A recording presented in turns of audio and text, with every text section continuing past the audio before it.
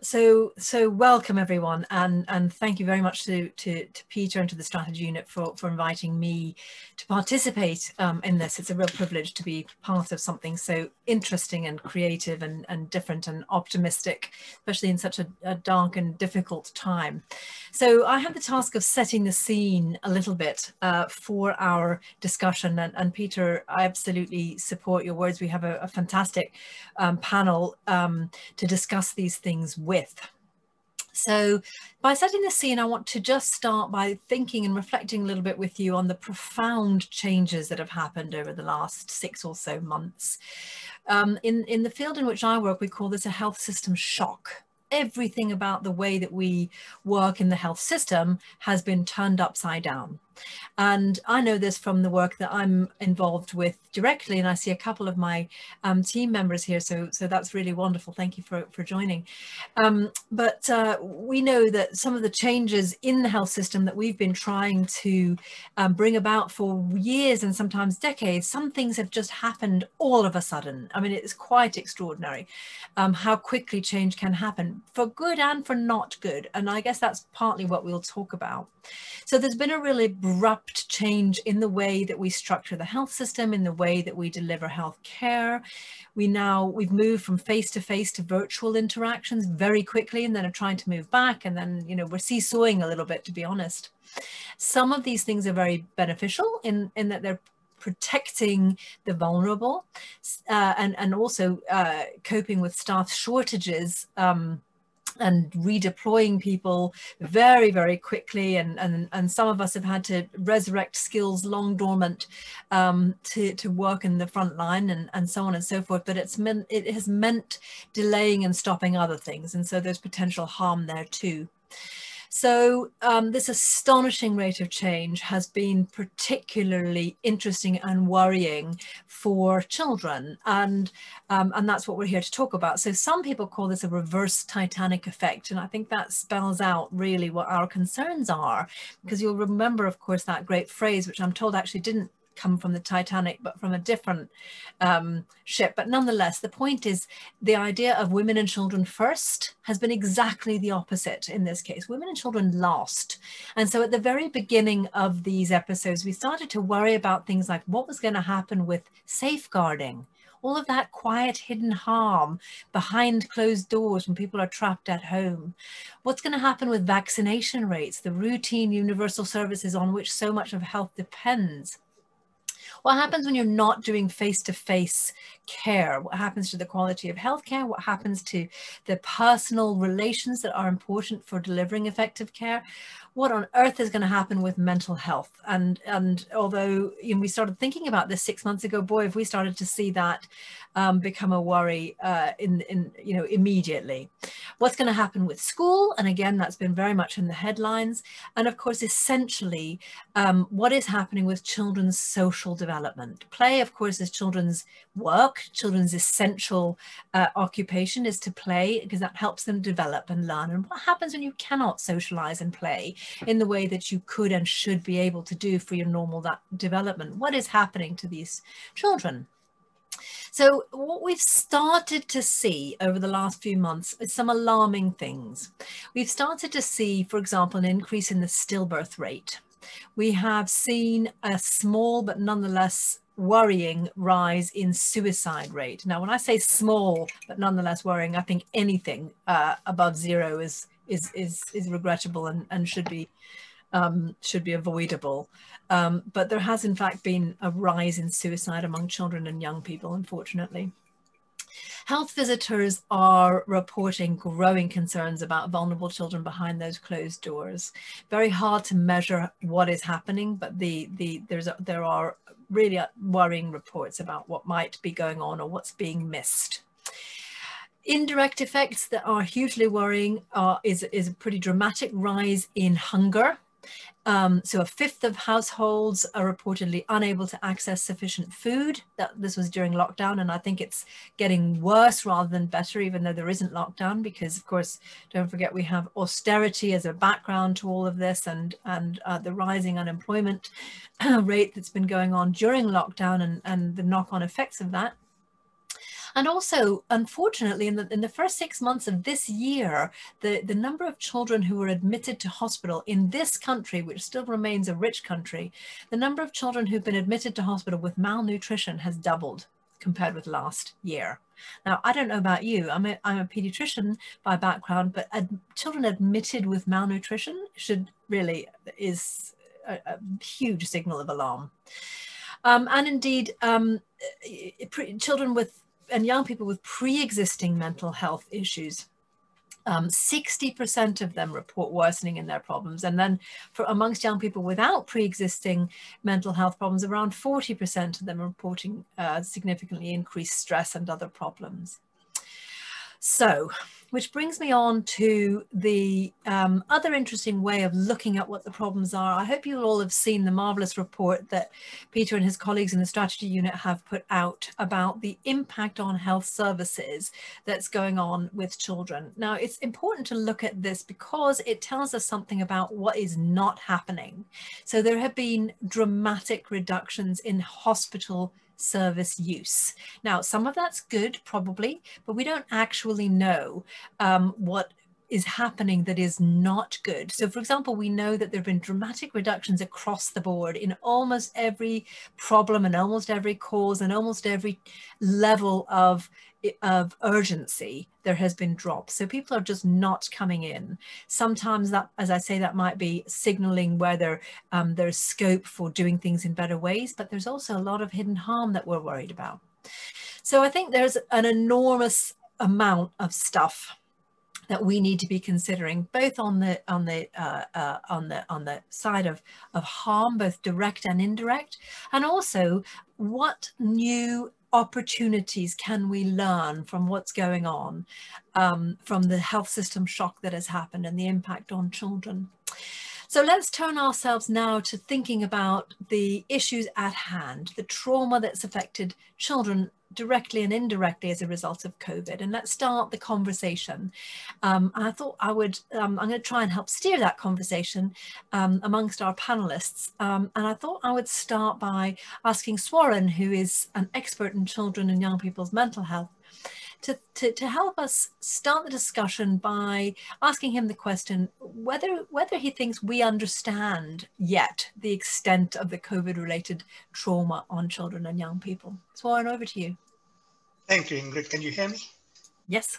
Yeah, okay. So I, I'd like to draw an analogy, which is that when we conduct science, we put a lot of effort in taking away confounders and to take away the effect of the observer. So you conduct a trial, you randomize people, you make assessment blind. The idea is that the observer is dispassionate and outside of the experiment in this situation, it's we are living in a test tube. We are the observers and the subjects as well. It is very difficult right now to say what the effect will be. We can speculate, and I think we can already see, like you said, there are robust indications that there are going to be significant damaging and negative mental health effects of the pandemic. But it may take us years and years to truly understand what what the what the impact is. Now that doesn't mean that we don't um, we don't start preparing or we, we, we are not proactive. I, I just want to draw draw to your attention that uh, in 10 years time everyone will turn out to be have been correct. You know all our everybody will say I told you so uh, because it will be such a complex picture. Uh, Mao Mao Zedong was asked in an interview uh, what do you think is the impact of the French Revolution on European development?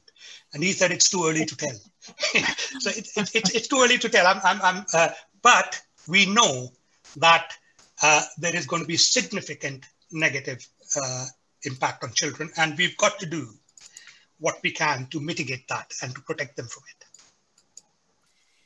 Yes, yes, indeed. Um, well, maybe that um, leads nicely into um, asking Nigel for his views about, well, we I'm sure we'd all really love to hear about your experiences um, in other uh, trauma settings and trauma examples. And perhaps you could tell us a little bit about that, Nigel, and then and then comment on how, how you see this particular traumatic episode and, and what, how can we use what you've learned and done in other traumatic episodes to help us in, in this one?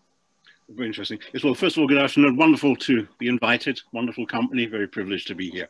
Um, yes, I'm a humble musician and aid worker. Um, and I don't have a great deal of knowledge about what is happening now on the ground, though I have been working as a volunteer for the NHS, developing resources for trauma-informed care, and I am beginning to advise certain education authorities on how we might go forwards. Um, uh, my work has been um, with children in zones of conflict, it's work that began almost by accident. I was working on human rights at the time when in the war in Bosnia, um, things were getting worse and worse for children. And as uh, we were becoming more and more impotent to change things politically, I could see on the ground that there were things we could do practically for children, and we did. And so we developed programs with music for children that were successful beyond our expectations. We thought we were just distracting the children. And then the Ministry of Health came along and said, no, this is that we really like this intervention, this therapeutic intervention. So we have permission to use that word, uh, and and we developed it as they as, as they wished. It became an international uh, project and, and interventions in many parts of the world. I'm currently um, uh, based in Lebanon uh, and um, about to start up in Yemen um, with with children. Um, what reflecting on that experience, first of all, globally, um, uh, to corroborate, sadly, Ingrid's comments that one of the things, for example, the, the war longest ago for me is the Bosnian War.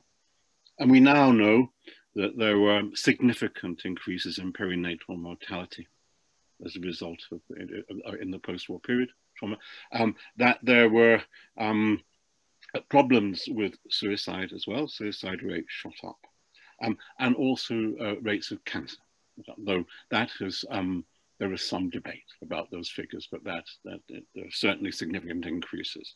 Um, so uh, many of the things that you've noted seem to be what appear, seems to be emerging in the United Kingdom at this time does parallel what we've observed in other places, sadly. Um, um, to a, a, slightly happier um, reflection, um, this summer um, uh, I had a camp. Um, at, from the very end of the war in Bosnia, I've run summer camps um, for, for, for the children and young people, initially those we were working with, then later for others, largely to keep the knowledge base running, to keep those people active in the region together and in communication. And what better way than to have fun and do some creative stuff together in a summer camp.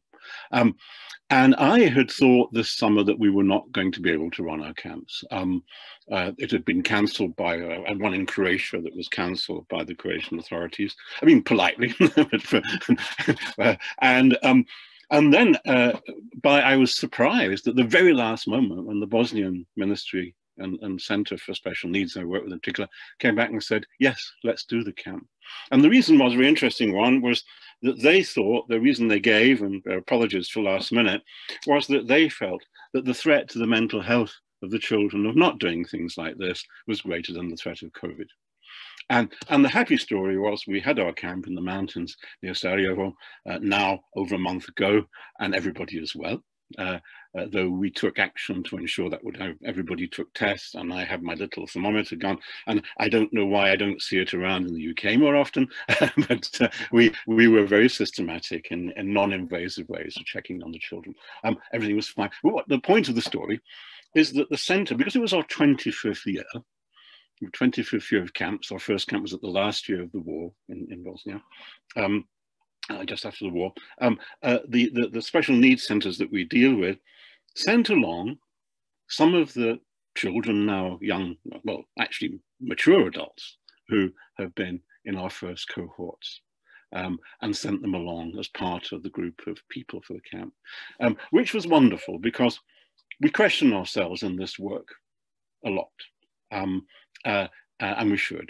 And you know was that really helpful? You know did, did we delude ourselves? And had, seeing some of our people back after 25 years um, and the fact they desperately wanted to come um, was to us a, a wonderful vindication that something must have been right. And what was interesting the story is then a mixed one because um, clearly we could see i mean we could see at the time we were working these people that we were able to help in various ways with the creative arts. And we can maybe come on later on how it does help. But for the moment that there was help taking place. And what's interesting was a kind of doubly encouraging and discouraging story. The end is that, yes, some of these young people are making great strides. You know, in uh, I could see how things had improved and, and things were getting better for them after 25 years. But the other thing was that many of them were still, as it were, stuck uh, um, in other words, the reason that they were sent by the institution was they were still attending the institution, which has um, occupational therapy and other activities for those that can't find work and do things. After a quarter of a century, they're still there. Um, so in other words, that there is a, a long-term thing, and people talked about ticking time bomb. I mean, for me, rather a long, slow detonation. Um, a very, very long, slow process, confounded also by things like what we call secondary trauma that situations of trauma, traumatic circumstances, can throw up things whereby we have things like alcoholism, we have abuse, we have, you know, bad behavior, um, which then has a knock-on effect on the new generation. So, um, so I, I, don't want in any way to be pessimistic. I, I believe that we'll get through this in, in, in good and constructive ways. I believe the creative arts have a lot to offer, um, and we're here waiting. Um, uh, uh, uh, so I am full of optimism, but to, uh, sadly, to reinforce your point, that, that I, uh, what I see is very long-term effects of things like trauma that can go rolling on and on and on if we don't help people properly. Thank you, Nigel. That's just mm. tremendous and hugely inspiring. I think uh, everyone there's been lots of comments on the side that you may have a chance to glance at now that you've finished talking for the moment. Um, but I think uh, I think the consensus is that everybody's absolutely delighted to hear of your work. Um, it is fascinating and interesting and inspiring, and it's also lovely that you are optimistic. But I take your point about the longer term harms that uh, that we, we, that we will undoubtedly see. And people talk about a lost generation, which I find terribly dispiriting as a, as a as a phrase. And so I suppose one of the things that we might focus on today is how can we redeem a lost generation um, as people who are interested in health and arts and and and well-being and so on. What can we do to try and help redeem that generation? Can I turn please to Sally, who I think is here, Sally Rowe, um, uh, uh, and ask in your experience in local authority, given how many years of austerity and cuts and all the rest of it that that um, have been experienced in local authorities, how how what does it feel like to you? How well prepared are we in local authority world to support children who are experiencing such trauma, to prevent and support them? Sally, can you comment on that? Uh, yeah, hopefully you can hear me. I am here now, having had a bit of a difficulty joining you to start off with. But you're very welcome. Um, uh, thank you. Um, uh, yeah, how do I follow Nigel? I suppose is the bringing us back down to the kind of really um, kind of uh, practical side of of uh, what we have to do. I suppose. Um, that uh, my background, I'm a director of children's services, um, but um, my background social work, so uh, a child and family social worker, and I actually uh, trained and worked initially in the local authority that I'm now director of children's services uh, in, having been off around um, a variety of different places, including Ofsted for a period of time. So I'm back in Walsall now and uh, working there, and I think I mean, we really have seen the sharp end of things over the last few months. I think what I would say to you is that, um, you know, social workers, local authorities, um, colleagues, health, police and others um, are really good at rising to the challenge when they need to. And that's absolutely what's happened over the last few months. Um, and that is replicated um, certainly across the 14 authorities in the West Midlands as I chair the regional Director of Children's Services Group, so I'm sort of privileged to have an overview of what's been happening across the Midlands. Um, and um, I think we've all been doing the same thing. So despite the difficulties that we have, which um, have um, undoubtedly led to um, a decrease in services, in certainly in some of the areas that are going to be radically important over the next few months, and I would particularly highlight youth services, um, as being part of that. Um, I think the first six months of uh, uh, or so of what we've had to do, we've really been able to pull together to use um, community resources um, to support children, to um, support children, particularly when they were out of school. And I think we are only just about starting to see the impact of children not being in school for the length of time that they have been. Um, and so we are able, we have been able to do that. I think we've risen to the challenge. Can we sustain that challenge is what I think is going to be the critical question for us um, in the coming months. And, and we are under no illusion um, that this is going to be over in a short space of time. And we are expecting um, to have to continue to work in the crisis management, and that's what I would call it, way that we are currently, um, for quite some time before we even really start to get to think about how do we manage the impact long term on children and their families. And I can just give you a few little, um, I suppose, sort of um, things that are starting to come through now. So we are starting to see and have done in my local system um, an increase in children and young people accessing um, crisis support and hospital admission for self-harm. So that fits very much what you said initially, Ingrid, about suicide. And we're seeing the earlier start of that.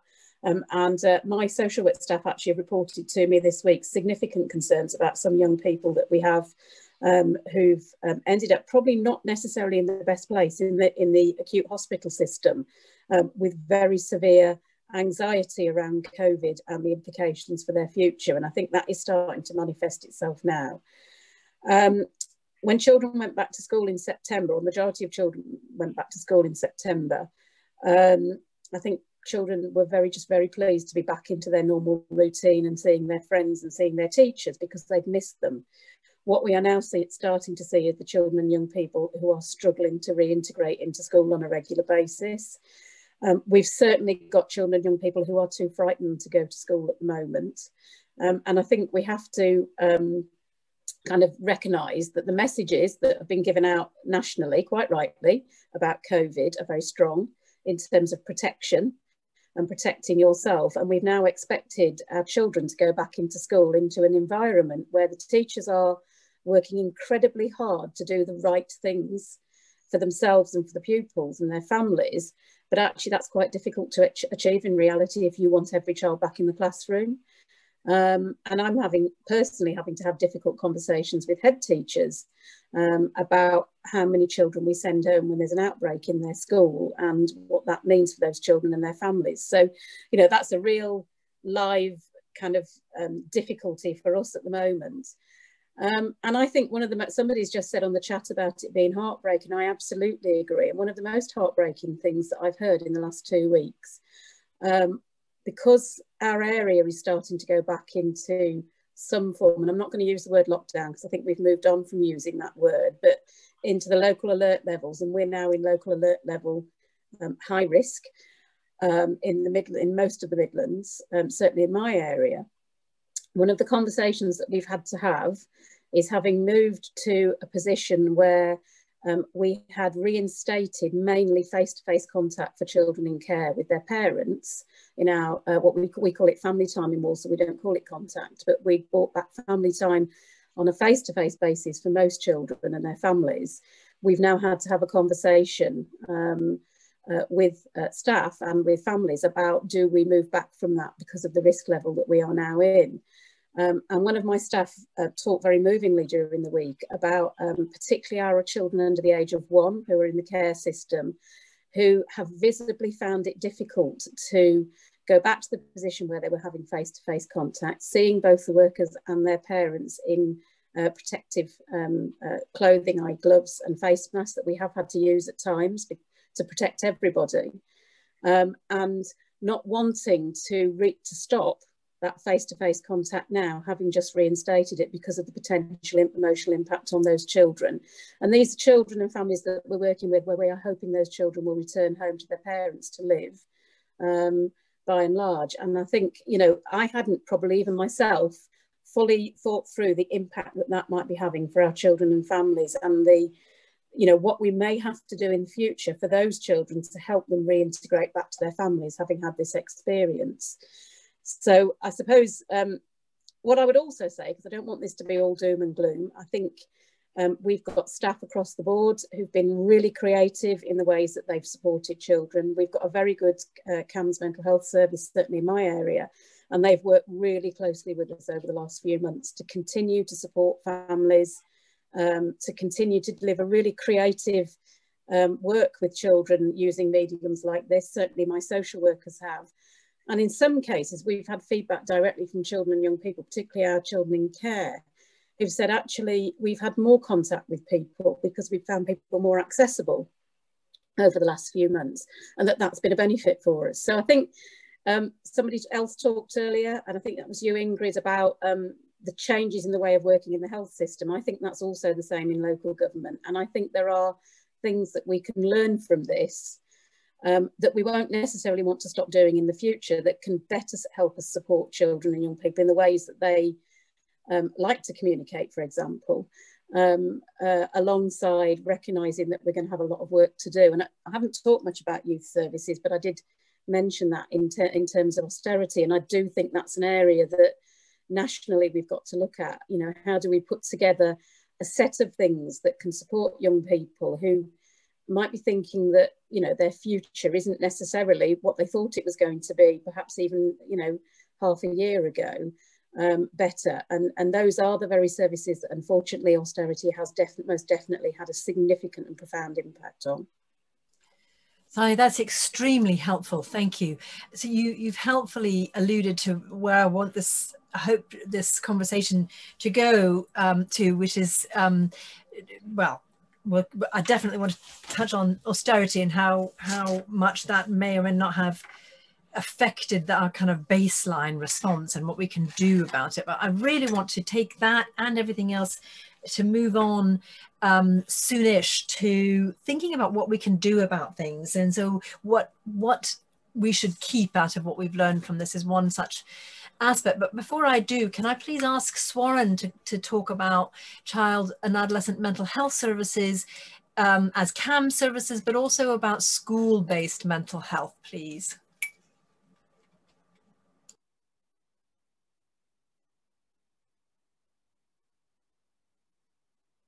Swaran, we can't hear you yet. I'm afraid you're still on mute.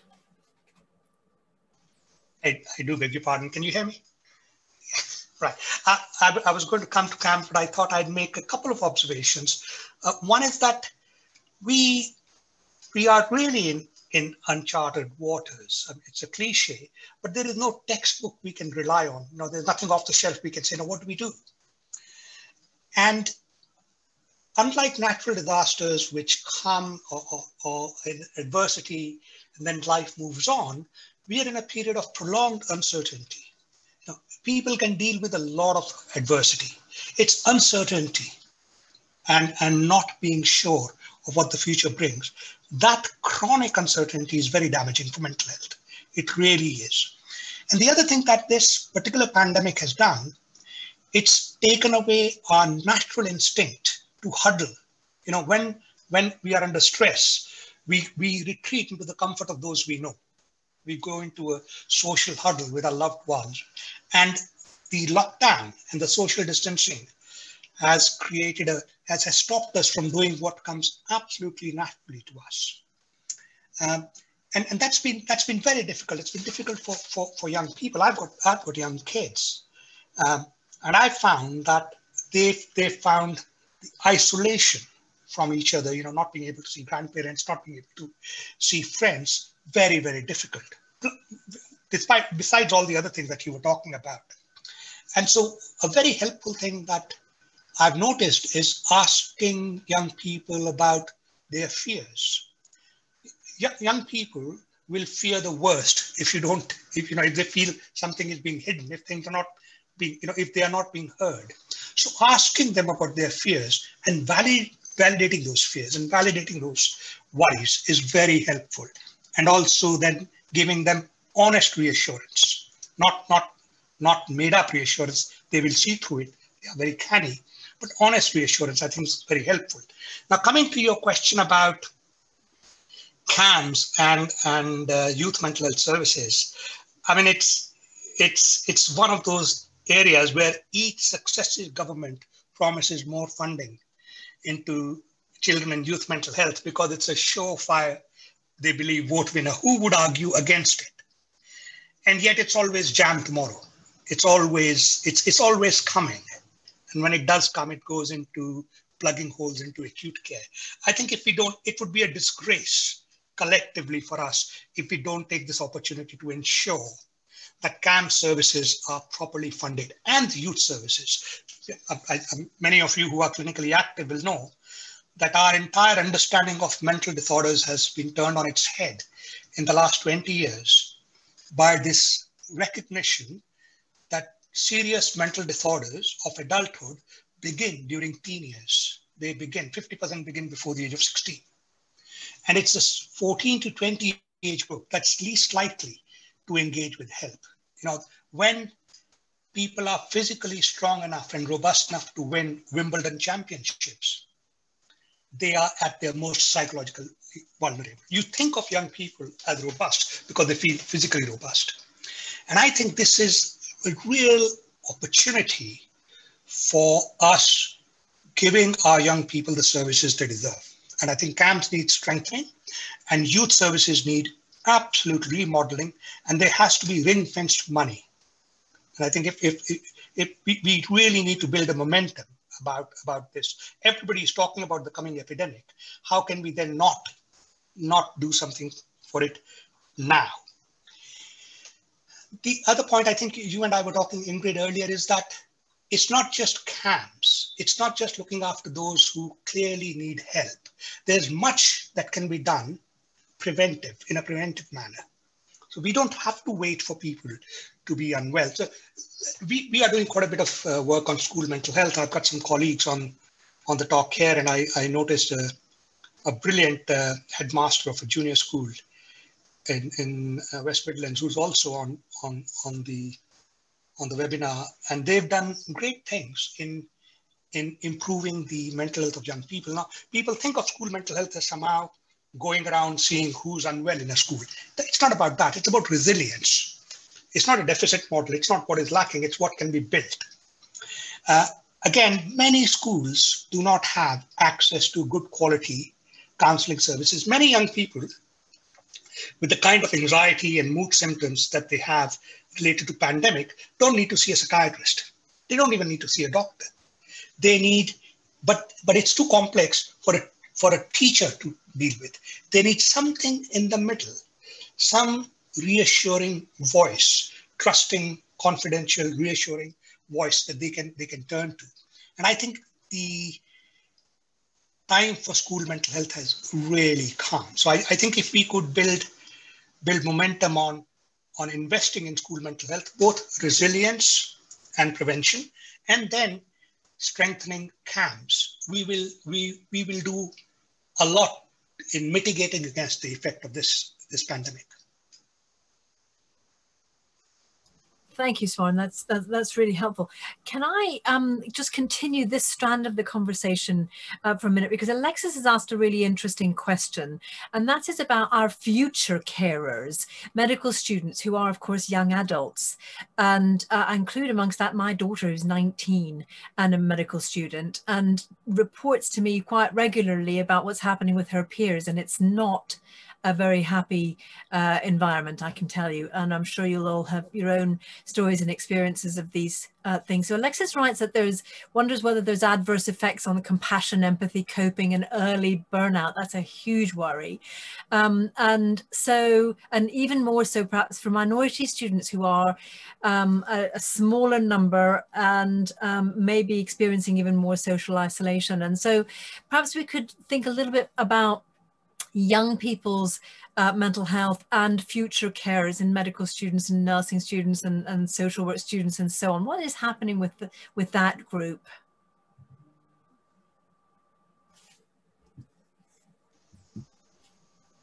Swaran, do you have any insights? Oh, I'm sorry, I, I, didn't realize you were asking me. Yes, well, well we start with. There is there is clearly um, there has been an, an, a real increase in anxiety and mood disorders mm. in young people around between the ages of 17 and 20 in England. That has been that has been shown quite robustly. And quite of it is related to the uh, uh, children in quite of it is it, children in education, schools and universities. Universities students are under you know very new pressures, some to do with finances, some to do with academic pressures, some, and I, I think the pandemic will have only made things worse. Mm. Many kids are now not able to work. So, so they, they, they, the way of supporting their, their grants by, by doing a bit of work, that's out. They are stuck in universities. They, they can't, they can't go home. They can't, they can't work. I think it's, it's clearly a very big worry. Now, now, mm. What we can do about it at this stage, I don't know. I think we will have to think about some community resources and some youth participation activities, like Nigel was mentioning the, the thing that they did, uh, mm-hmm. some way of engaging young people in a in an activity that brings them together. I saw, I, I digress, I saw a wonderful performance of uh, uh, Ravel's Bolero of young people, each in their bedroom and playing the entire piece. And the guy on the snare drum was you know he, he, had to focus on his own. And it's it's I, I, showed it to my son and he said that's wonderful you know. Maybe we can do something like a play together or, or, or, poetry. I think we have to think of creative ways. We, we can't depend entirely. I take a point about austerity and services but i think we've got to create develop some some creative ways knowing that students at, at schools and universities are struggling some way of bringing them together. I wish I had a simple answer for you. I think if there was a simple answer, we would have found it by now. So well, I, can I turn to Nigel then, and and and um, perhaps we can explore what what possible ways there might be to to think about arts and creative um, creative therapeutic uh, uh, interventions that can be done remotely. Um, and if I can ask. Um, if I can ask Nigel to comment and then Sally, I've noted that you put your hand up too. Nigel first, please. Yes, yes. I mean, I think that uh, we have a lot to offer. I'm part of my optimism. Um, in some ways, uh, you mentioned this, this crisis has been full of negatives, but some positives and some silver linings. And one is that I think from the, the, the case and the, for, for music and arts in health, I think in the last three or four months has leapt ahead at least a decade. Um, I've been developing resources for NHS, um, online resources, and we are moving into areas not just you know, related to depression, anxiety, but to perinatal care, um, uh, elective cesarean operations, um, uh, you know, care of the elderly, um, things that I thought would be, a, you know, in, in, in the, the, long distant future and as we evolved all of this, and maybe not in my lifetime. So it's been, you know, that, that's been positive. Um, so first of all, there's been a, a rapid, I think, evolution, not just in what we know how to do, but also in people's appreciation that that can work. So for example, in our online resources for the Recovery College, which are a series of playlists to help you move from one state of mind to another. I use a technology called X-System to do that, um, to, to provide us with the figures to do that and predictions of um, uh, neurophysiological effects. We've had you know tremendous evaluations and such as you don't get for you know normally in medicine. uh, uh, and that's something very interesting about science. Why are those results so good? Because it's been done impeccably, excellent statisticians. Why are they so much better those other times because people wanted and needed it. It wasn't a paid group of, you know, of volunteers um, uh, being measured, you know, drifting on a Saturday afternoon to do this, that, the other. So, in other words, tells us something about passion in science. And, and so, uh, on the positive side, things are developing. I think that the remotely, we have online resources. Also, in terms of, of, of, participation, there are also ways in which we can use technologies. Just in the last month, um, it's interesting how, you know, when there are nettles in the forest, dock leaves, you know, crop up. Um, so also in the last month, we have a new technology developed in Stanford called uh, JackTrip, uh, which gets rid of the latency problems. You know, when you try and do performance together live, um, there's a, a, delay that makes that impossible. So the Ravel's Bolero was done by everybody recording separately at a different time, overlaying their track, um, uh, which is nice and great. But however, how much better to do it like a real community at the same time. So I would like, I mean, I'm trying to persuade education services to look at this. Um, uh, there are really ways. Um, another of the problems we have in the situation is that many of the things, if you do accept that creative art's useful. And by the way, I'm really happy to start rolling out why I think they're useful and why we found out they're useful in what specific ways, in, if you want at some point. Um, but for the moment, um, we, if we accept that there is some use, we're in a paradoxical situation because for the arts, first of all, suffered very much from austerity. Then, at the outset of the COVID crisis, um, the government, for an industry that gives it 111 billion pounds a year, forked out 1.4 billion to support it, whereas the German government forked out 51 billion um, to support. So, in Germany, values its art world 5,000% more greatly than the British do. Um, uh, so uh, uh, uh, and that, that is not said in anger, but just in reality. So we've got a big problem of our resources being, the, the very resources we need being, being decimated at the moment we need them. I think we'll win that one, but we have to motivate young people and we have to give them the, the, the wind in their sails to do this. It needs a national movement to, to get that, that moving. Um, so I believe in that. And also the other thing that we've suffered from, what do children most need in school? I think singing and doing creative things together. And of course, singing is not full full voice singing is not on the agenda for most education authorities. And um, I suspect while the evidence remains as it is, that's correct. But there are ways around that. There's, you know, when the weather's good enough, there's outside. And there's also, what about radio mics? What about soft singing turning you into a big, wonderful, glorious choir? I'm sorry, we have this technology. It would cost nine pounds a person and no cross infection. People have their own mics, right? They keep them, look after them. Um, um, so um, I think all sorts of optimistic, visionary ways of doing this. I know the tech companies would come with us on this with deals. I, I you know, um, but it does need guidance because what we're having at the moment is a situation where so far, um, you know, the government and others are coming with restrictions and prescriptions, quite rightly. I'm not criticizing that. Um, but the, the creative um, kickback is coming from inventive music teachers. And, and I would like them to be empowered. Uh, uh, so, there are, there, so my optimistic stories is there's a great deal, and, and maybe later, if you give me the time, I could point to some of our evidence as to how, with specifically post-trauma and things, we can really help at lots of levels. Um, but for the moment, if people accept the general idea, we've got those difficulties. Um, and I think they, they can be overcome, but it needs concerted action by the right people. Um, and I think, you know, in conversations like this are probably the ones that are going to start it, which is why I'm here, apart from enjoying your company. Um, I'm trying to galvanize, you know, a movement that will get these things sorted. That's absolutely wonderful, Nigel. Thank you. We're going to make sure that we have enough time to talk about uh, practical solutions and then try and make a plan for what we as a group of people can can help do something about those things.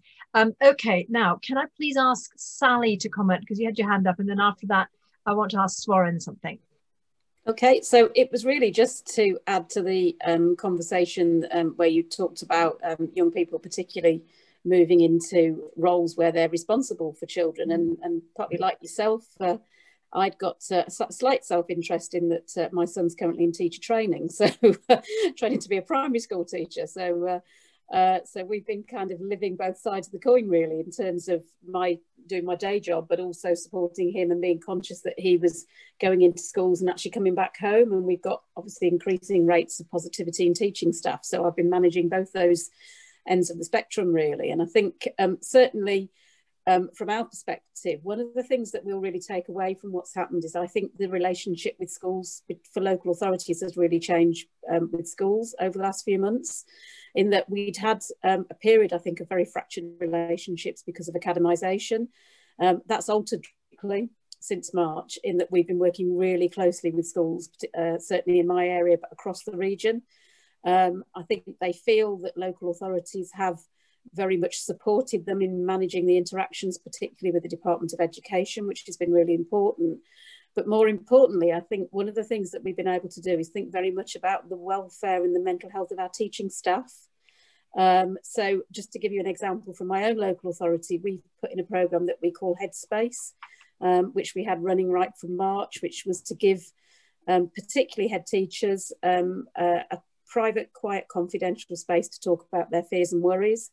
Um, and if I said to you that was well used, I think that would be an understatement, quite frankly. So I think um, we've learned quite a lot from that in terms of how we should support staff through difficult times, how we work differently with our schools.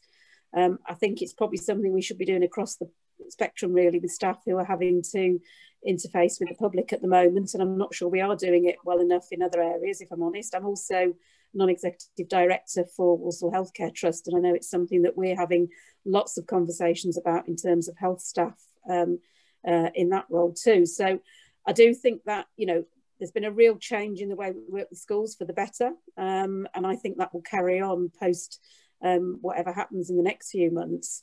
Um, but I also think we've got to look much more at how we um, generally support our caring staff broadly, and that includes teachers too. Thank you. That's extremely helpful. Swaran, I wanted to pick up with you a few, um, I think, important points that we make sure we cover. One hmm. is um, the the notion of of, of equity and in, inequity and inequalities. So I think we have a big problem in this country in inequalities, and I think that what's happening is is is exposing even more so what's going on. So I want to think a little bit about inequalities in in in, in the national setting, but I'd also like to think about inequalities globally and what's happening across the world, particularly in low and middle income countries. Could if you could comment, please? Sure, sure. Thanks, thanks, Ingrid. Um, nationally, we have known for about 30 years now that some of our minority communities um, are exposed to so many risk factors mm. um, like poor housing, unemployment, social uh, marginalization, exclusion, societal racism, disadvantage, that they have much higher rates of mental illness. Physically, many minority groups have comorbid conditions that, that put them at higher risk. And of course, they also have poor housing and you know multi-generational families. So, like you say, the pandemic has revealed everything that's everything that's wrong in in in uh, health health inequality. I mean, we always knew it, but this has you know it's really held a mirror up to us to say you know this is what reality looks like. What are you going to do about it? Uh, I think there are there are moves afoot. I know for certain that the Department of Health has taken it very seriously, and they are they are trying to do something about it. Again, it's a complex problem, uh, but it is one that we can no longer shy away from we, we can no longer just, you know, blame social situation and then sit back uh, in, in passive uh, retreat saying, well, th this is this is how life is. I think we've got to deal with that nationally. The it's it's a triple whammy for minority groups really: pre-existing poor health, then uh, the uh, physical ill health, and then the pandemic, the effect of the pandemic. Globally, the bulk of young people in the world live in low and middle income countries. You know, 60% of India's population is under 20 or some, some such figure. And that's where services are most uh, scarce, you know, the least available. I don't know uh, if many people know, but uh, globally, in low middle income countries, the proportion of people with COVID who are under 20 is much higher. So in the in, in, in the West, say it's around, it's less than 5% of the total proportion of people who have uh, a COVID infection. In Paraguay, it's 20%. One in fifth of every COVID positive case in Paraguay is under 20. Overall in LMIC, it's 11%. So, so there is there is then the problem of being out of school. UNESCO did a report recently on the effect of uh, school education in, in the pandemic. 50% of children in low and middle income countries have no access to computers or internet. So even where schools are trying to, so think about those kids, you know, they're at high risk of infection.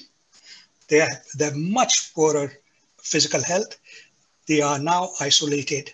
They've got very little access. And I think it's a, it's a real, really worrying thing. Again, I, there, there is one study from India showing about 40% of young people they spoke to spoke about significant anxiety and depression. We did pre-COVID, we did a large screening in uh, South India, about 15,000 young kids between the ages of 16 and 20.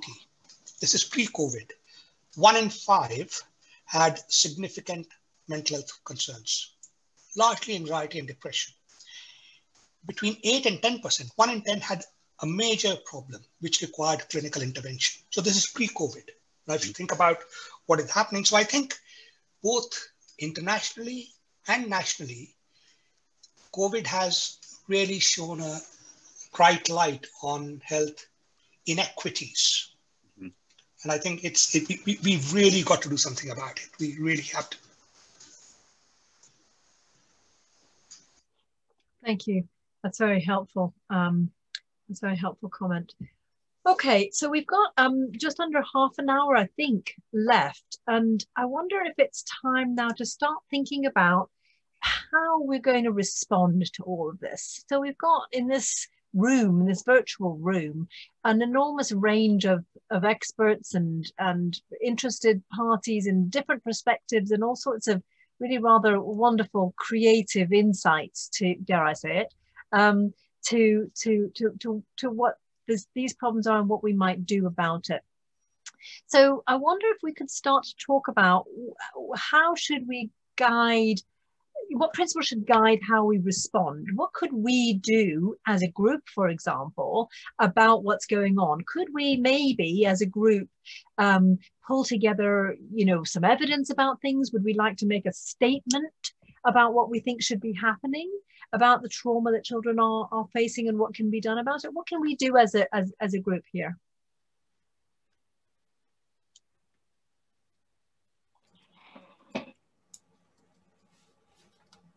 Sally, what do you think from a local authority point, point of view? Would it how how would in local government and if you have any insights how in in national government what would it, what would how would such a thing land? Would it be helpful to have a kind of consensus statement out of this group of people about what we think should be happening? I think I think it would because I think one of the challenges that we've got, particularly with central government, and this isn't a political point, it's probably a personal view, although I have heard it echoed in other um, uh, meetings I've been in recently is that one of the major concerns we have is that there is no joined up approach to children across central government. So actually for the ah. sector to start to reflect that back in a joined up approach and joined up statements, I think would be incredibly powerful and very useful. So what we find, for example, is the funding streams are, um, you know, they're separated across the DFE, uh, the Departments of Health and Social Care, um, the Ministry of Justice, um, uh, and uh, MHDCLG as well. And um, our conversation with government as a result is very difficult and very fragmented, which is a challenge. Mm. So, for the sector to start to recognise that and respond in a way that gives that joint challenge back, I think would be a very, very helpful thing to do indeed. Well, that's extremely helpful to hear. I, have heard similar things in the Department of Health that, you know, why don't you folk in, in child health get your act together and stop speaking? So, for certainly in the medical world, you know, we've got this college and that college, and we're really usually talking about, frankly, the profession rather than the population that we're mm. serving, which is a it's a problem. We need to turn that around. So so why don't we as a group try and try and figure that out before before we get onto the specifics though there are a couple of things I wanted to talk about. Two things. One is how can we bring in the voice of children and young people? Peter in, at the outset rightly explained how difficult it is to do that in this sort of a meeting, but we can think about how we might do that for our work going forward. Um, and um, so there are a couple of things I wanted to think about. One is that somebody made a very helpful comment uh, Trudy, I think, about how children and young people feel that things are being done to them rather than with them, and how we don't ask them. And for heaven's sakes, you know, we should be. And, and how can we do better at that? So I wanted to, to raise that. And then also, um, if uh, Mark Penny has written a very nice uh, comment. Um, and I don't know, Mark, if you wanted to actually speak to that, you'd be more than welcome to do so. Please just um, come in if, if you would like to do that. Um, and then I think we'll move on after that towards evidence and thinking about how we bring that together. Mark, did you want to have a, a, a quick word about the, the lovely thing comment that you've written about your experience of primary care children, primary care, primary aid, school age children? Yeah, uh, uh thanks very much, Ingrid. Um, hi, guys. I'm Mark. I'm a head of um, prep school in Solihull. Um, yeah, it's, it's fascinating to listen to listen to you guys because I don't often get involved in the critical care end, and I, am fortunate for that regard. But I'm conscious that there are very, very many thousands of children who do. Uh, I think one of the things that I'm conscious of as a head is that we have an extraordinary opportunity to influence our parents and our children in how they perceive and how they shape and um, understand what's going on in their experiences, pandemic or pandemic aside, whatever it is they're experiencing. And we, we get to either um, mold that in a positive or optimistic way, or we get to really diminish that by adding, adding and, and projecting our own stresses and anxieties onto them. So teaching staff are under enormous pressure and have been for some time. I've seen parents under more pressure than I've ever known them to be before. If I guess to some extent in the prevention that um, Swaran um, was alluding to, which is an area that we're very focused on as a school, how do we, on a national level, get get parents and teachers away from the horrendous negativity, uh, relentless negativity, 24/7 um, wranglings of the of the pandemic issues. They are very real and they are very proper, and they they, they need and deserve a, a whole lot of direct interventions to to just reduce the sheer number that guys like yourselves are dealing with at the sharp end of what happens as a cure. But it's the response and the prevention that really intrigues me in terms of how we do that. And I think unless we have the national voice that talks about transience, that this thing won't last forever, and that hope isn't lost. Um, in another context, and Swaran will know this, we've been very fortunate as a school to work with Holocaust survivors. Uh, I've also, in another context, worked with um, civil war victims, innocent victims of civil war in Sri Lanka. And in, in all cases, the lack of hope and the lack of the sense that this is not permanent, it's not pervasive, is the thing that can really bring people down. And I understand that there are people who are predisposed to critical care, and it's not much we can do in always.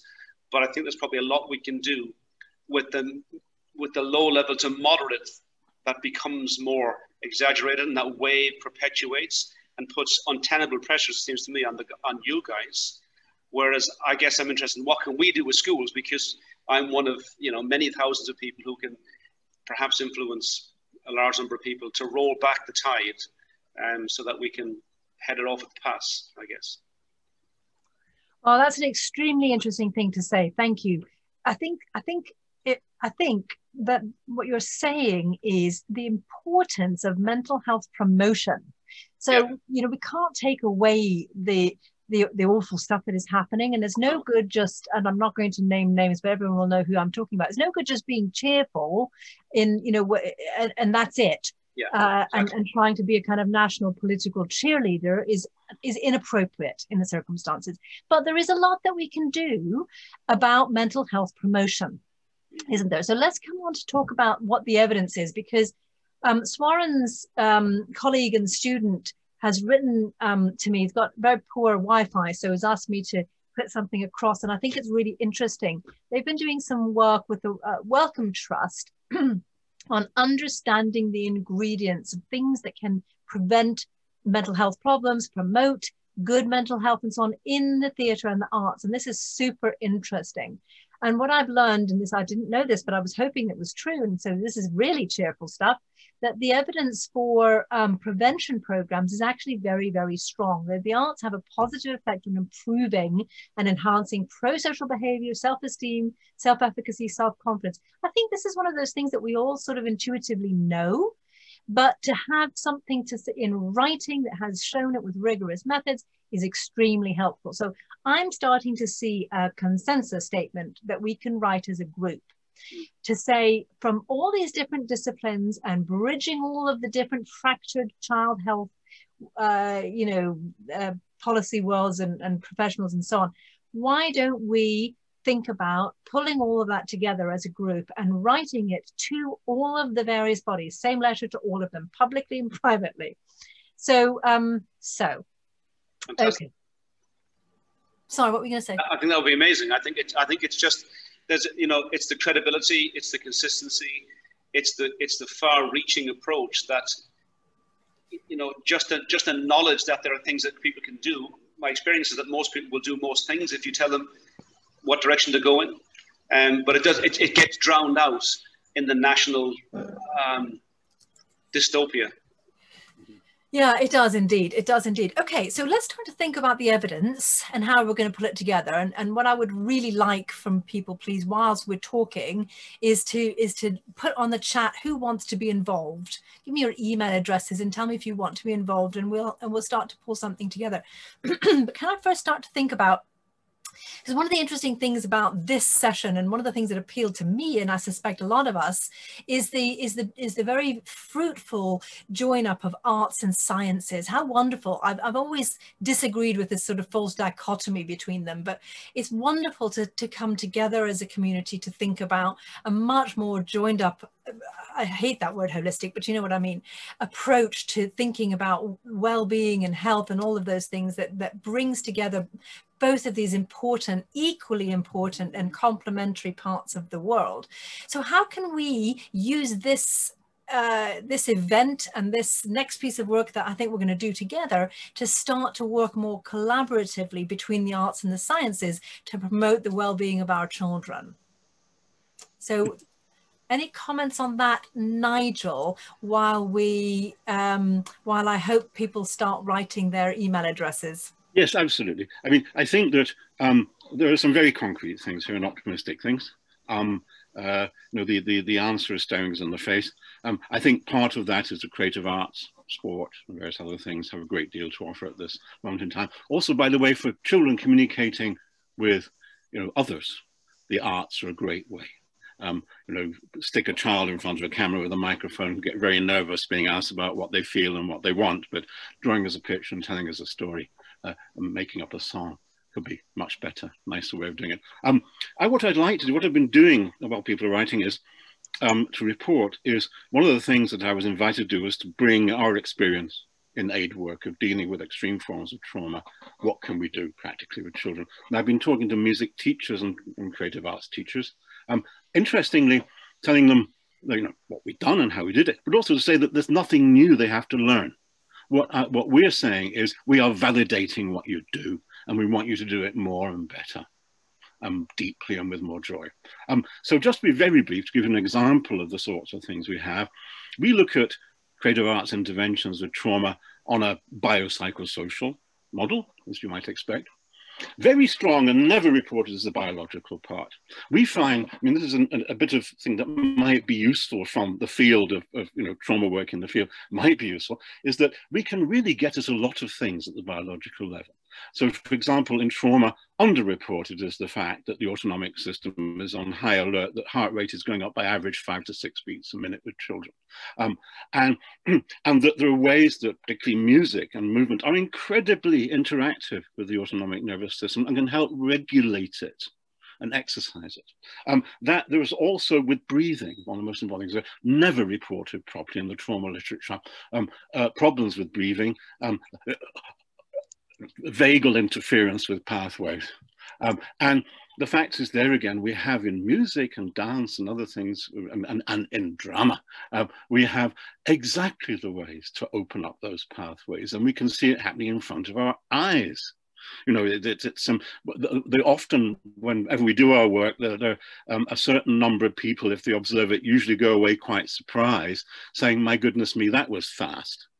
Sometimes we can make very, of course, to establish those changes, to embed them can take a long time, but we can make effects quickly. So breathing, movement, movement repertoires in children with, uh, with, with, trauma can go to extremes. They can be comorbid with hyperactivity. ADHD was identified as comorbid with PTSD not long ago, um, but also, uh, you know, very sluggish behaviors, you know, corresponding to the, you know, uh, diagnostic statistical manual categories. Um, we can see all of that. And there again, music is fantastic and drama it, it is the very core of that you know we are music as a hotline to the most primitive of, of brainstem systems to inspire movement um, and right the way through to being able to excite the motor cortex in regulated ways why aren't we using that well every music teacher can do it in the country with the kids just told how important it is, how significant it is. And finally, endocrine things on the biological thing. Um, you know, uh, cortisol, the most reported area of this, you know, when a traumatic event occurs, cortisol might well go sky high. And then a sign, a sure sign of chronic trauma is when it goes too low. Uh, and there again, our arts are incredibly interactive with the HPA axis.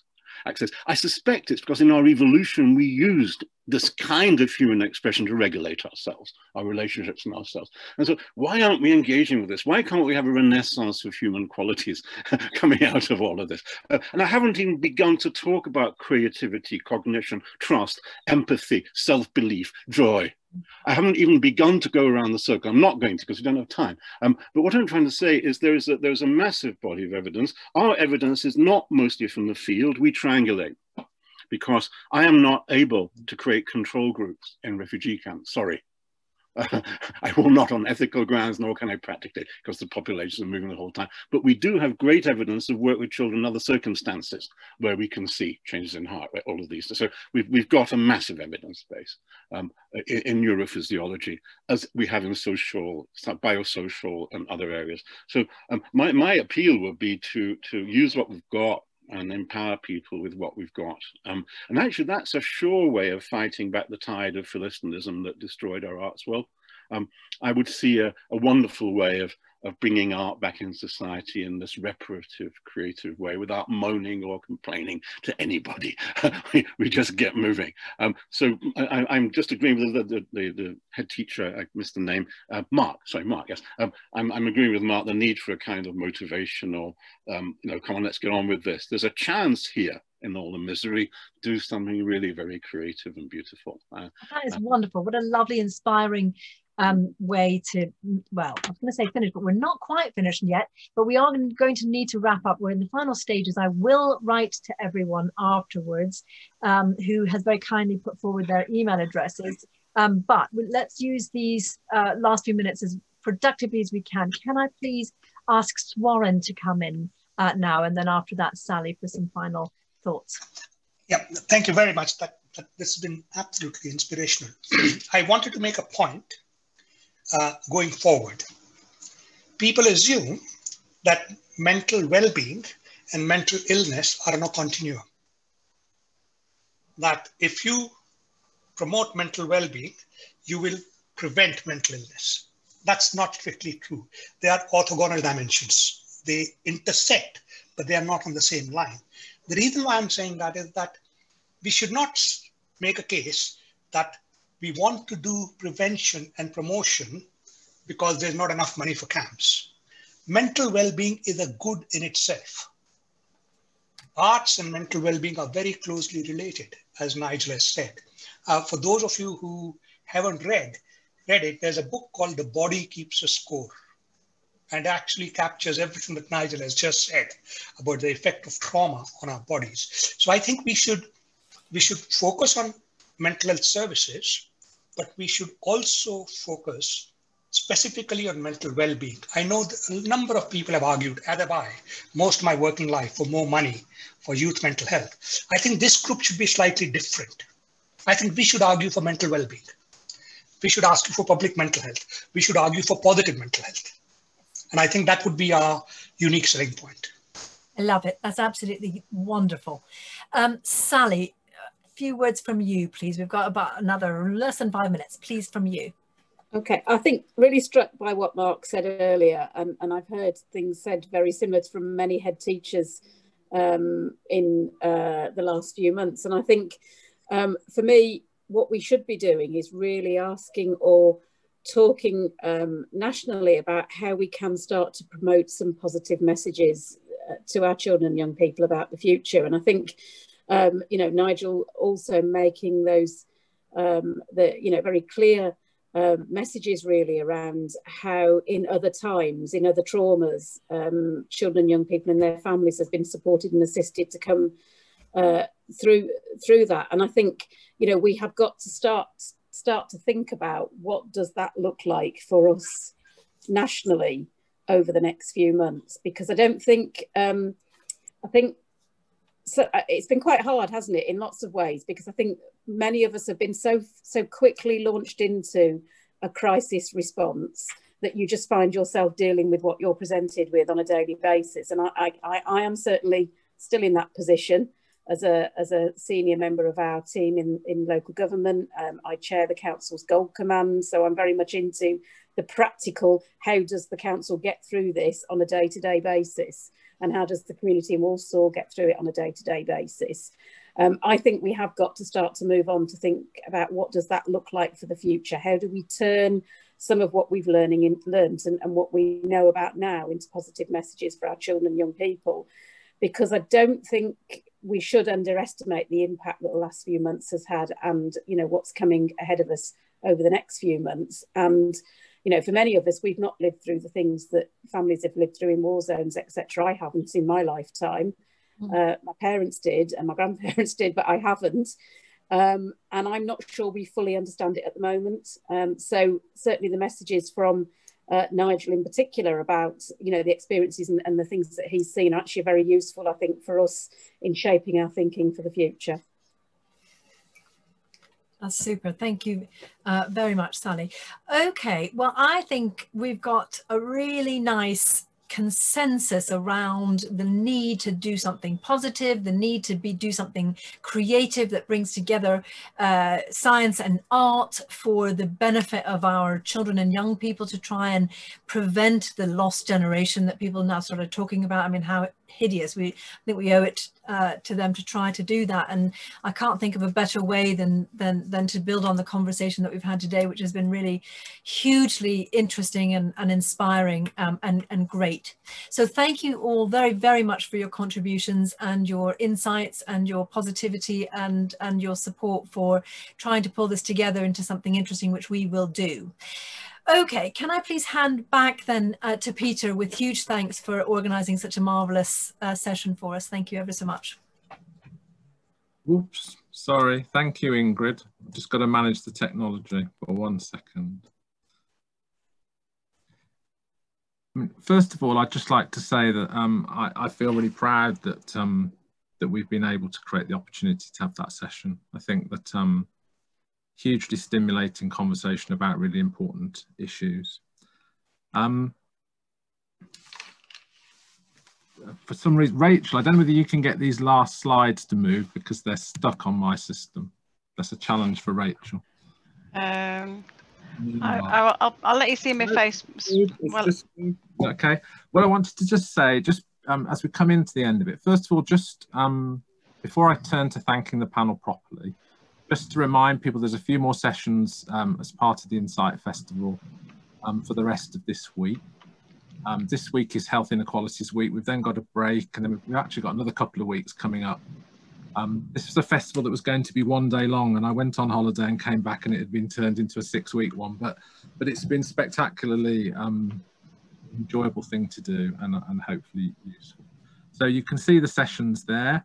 Um, just to carry on our, our interest in connecting with the arts, um, we won't be showing it on Friday, but, but we're very pleased that we're going to be doing an hour-long interview with Hashi Mohamed, um, the author of um, People Like Us. Um, probably read about Hash's experience from, I think, Sudanese refugee, I think it was, to, to becoming a top barrister in this country. And he's going to reflect on his learning, what that means about uh, health inequalities in this country. But in the spirit of the conversation we've just had, um, I'm very keen to suggest that we, just before we end the session, we just take four minutes, if you've got the time, four minutes, to just hear out the remainder of, of Nigel's piece. This is the Cantillon. Um, and then just at the end of that, I'll just, I'll just close it down. And I hope that, that you find this a useful four minutes for some reflection.